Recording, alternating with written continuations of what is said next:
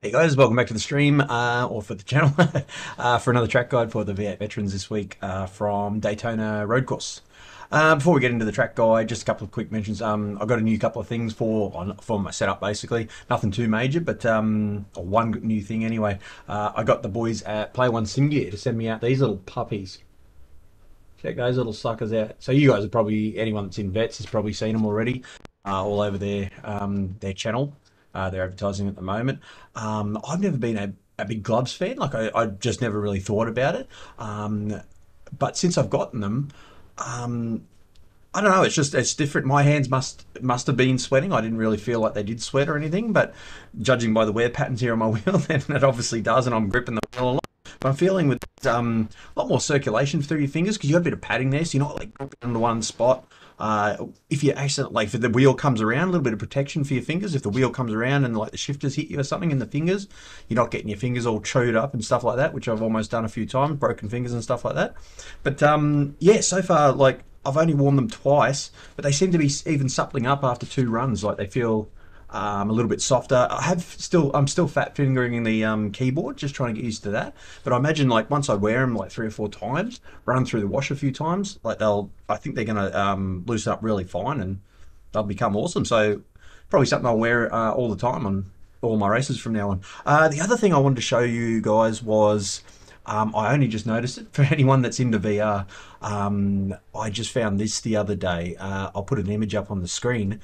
Uh, it's a new headset. So I was talking about it in a couple of streams.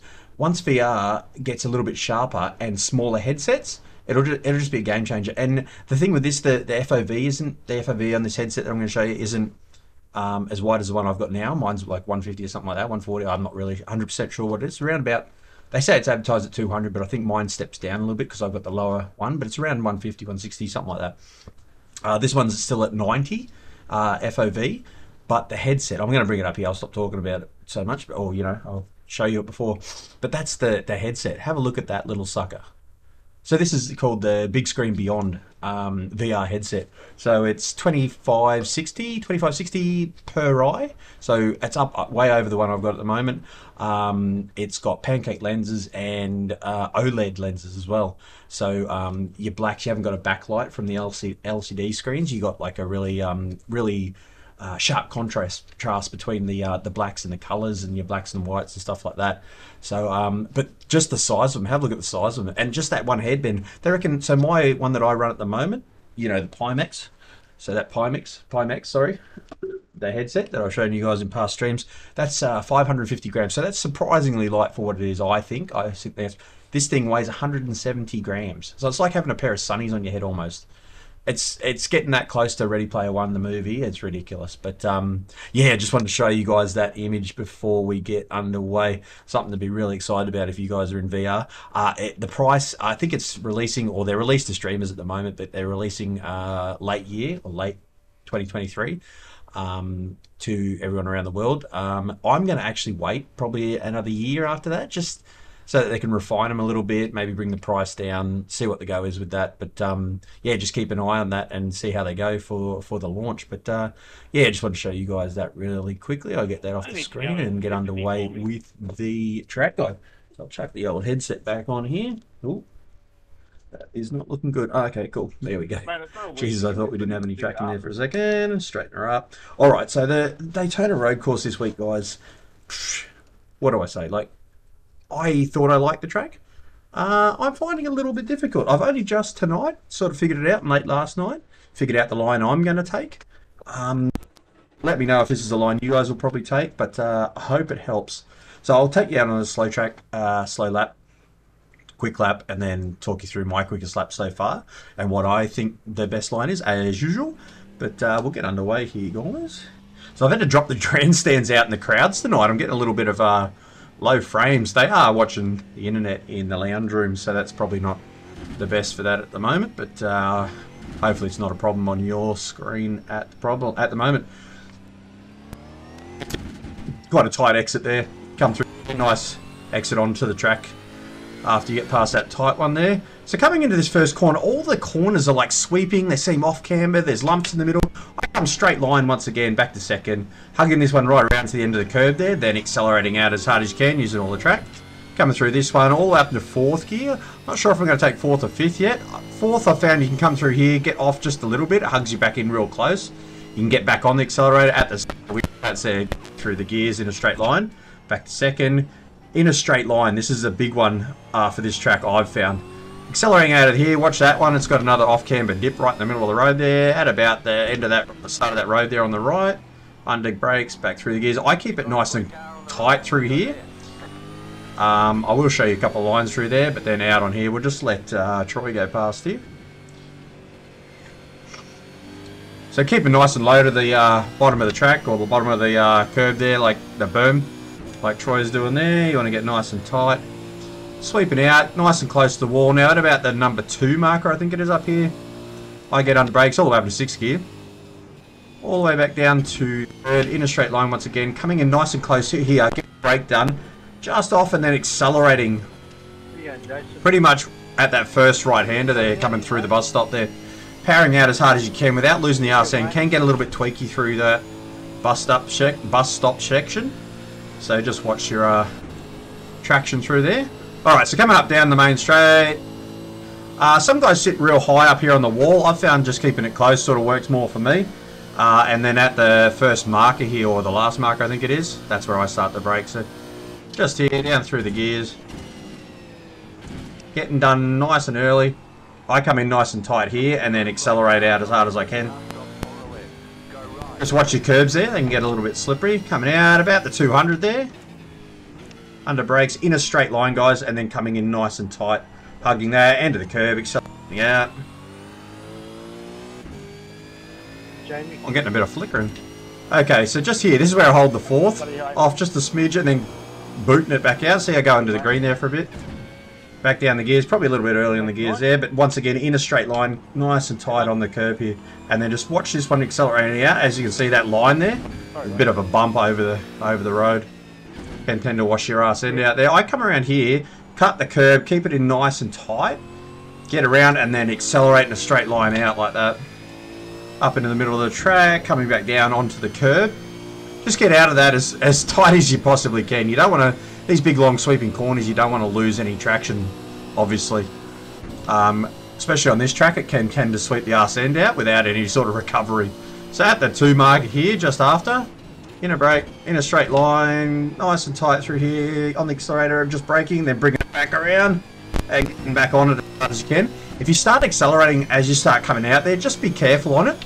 Uh, can tend to want to shoot the arse end out there and really um, spin the car right out.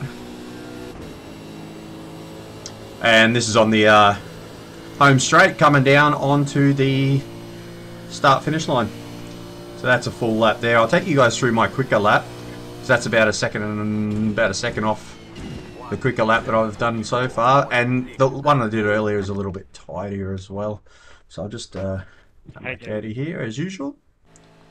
Turn these fellas down. Alright. So coming to my laps here. So I did a 143.8 was the best I'm able to do so far. Just bring it back here. Oh, geez. Bring it back here. Um, I'm going to leave it like that, I think. Oh, take it around. See if I can get this function in F12 going. Bloody hard when you got the VR on your head. Oh.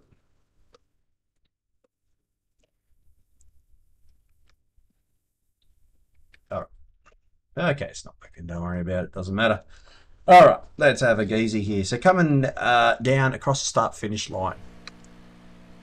So this is the brake marker just there on the left, the 100 there. I'm off the accelerator on the brake. Uh, it's reasonably hard on the brake. You're going to have to take my word for it because there's no uh, telemetry gauge. I've sort of gotten rid of uh, race labs, but um, it's about half, half to three quarters on the brakes.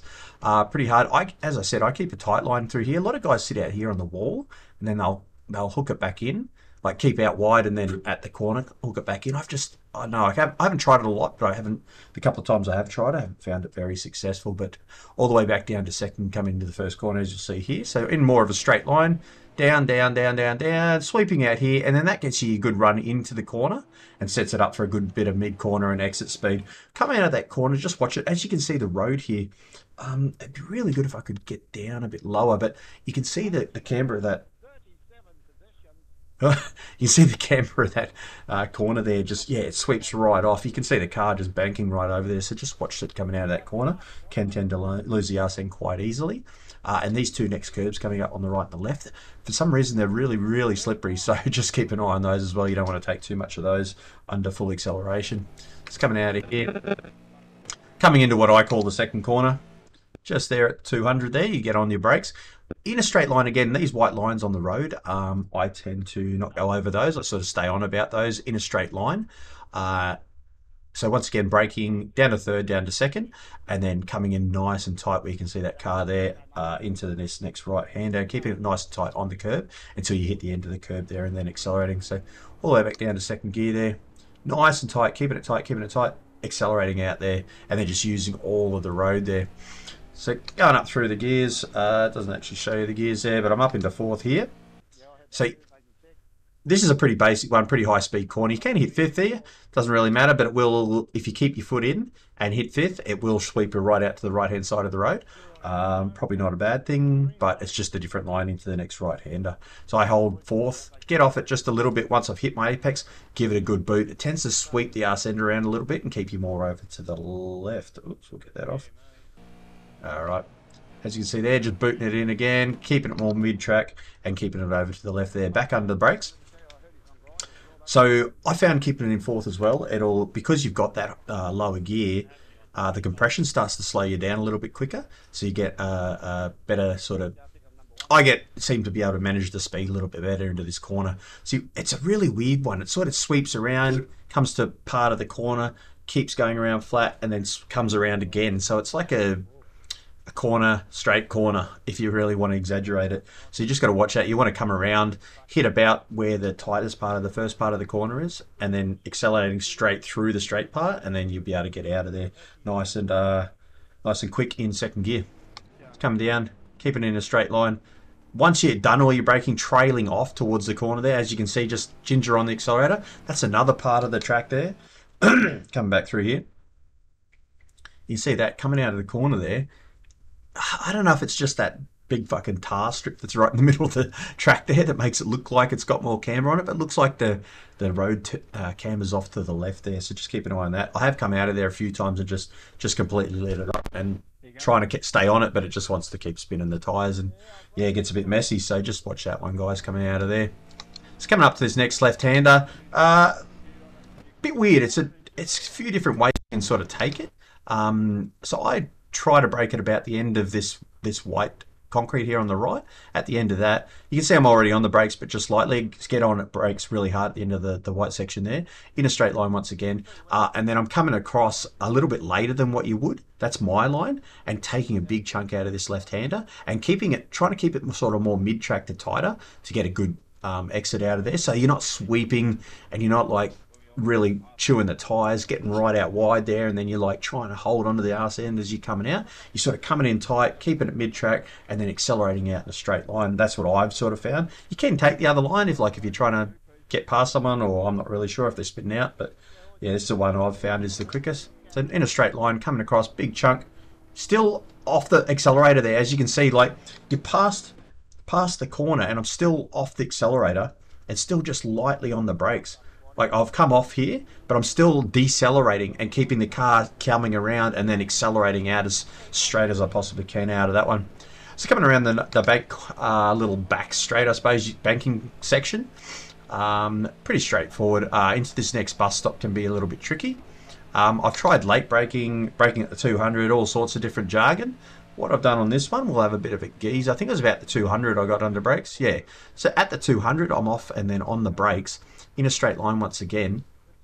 So you're all the way up into six gears. So you're going fifth, fourth, third um, in a straight line and then trailing off as you come into the bus stop, keeping it nice and tight to the left hand side. Um, it's sort of hard to explain because the, the mid part of the, the corner's right here. Um, hope you guys can see my hand. Oh yeah, mid part of the corner's here. So you're coming in here, you're coming in and you want to get your, your turning done as you start. So you don't want to come through this way and then start having to turn back around. You want to come in, keep nice and tight to the left, and then start turning before you even get to the mid part of the corner, so that you can hug that right side coming out and the left side, straightening it, straightening it out, and getting the most speed as you can. I think I've done it on this one. We'll have a bit of a geezer coming in. Nice and tight on the left there, coming around and then starting to accelerate there and keeping it nice and tight, right, tight, left. That'll get you a bit of a straighter line and you're getting under the, uh, like, you're starting to accelerate a lot earlier than what you would for someone that's braking later and then carrying their speed through the track, their corner, sorry, and then accelerating late. So I want to get braking done early, get in nice and tight early, get off the accelerator before the mid part of the corner, and then accelerating out to get the best speed down here. As this is a quite a high drafting track, you'll get a lot of people drafting you down that pit and just trying to bomb you into this first corner. It'll be a, a fairly um, fairly big occurrence down in this track this uh, Thursday, I reckon. But uh, that's another track guide, guys. Um, once again, if there's anything you want to know um, about the track guide, if there's any questions, leave questions in Discord or in comments on YouTube. Um, hopefully, I just got all that. It looks a bit dodgy on my screen, but can't put the bloody headset down there. It doesn't like it. All right, I'll put it up here, see what it says. Oh, there we go. Yeah, she likes that a bit better. Anyway, yeah, leave the comments in the in the um, comment section or in Discord. Um, if you like the gloves, guys, that's them again. Got the cool little tag on the back there. They're called mechanics gloves. It says it on the on the back there. Whoops, mechanics gloves. So they are quite quite sturdy. But um, if you're after a pair of those, they come in all different colours and writing and blah blah blah. Um, go to uh, Play One Sim Gear uh, and they'll look after you guys.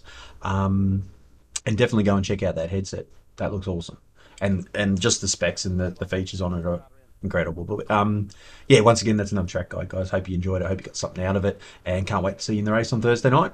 Cheers, guys.